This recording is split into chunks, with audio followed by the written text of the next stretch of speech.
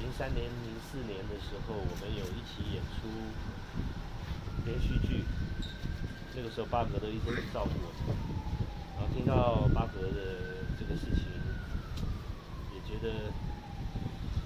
哎，这是什么年月？都在这段时间，也希望巴格哥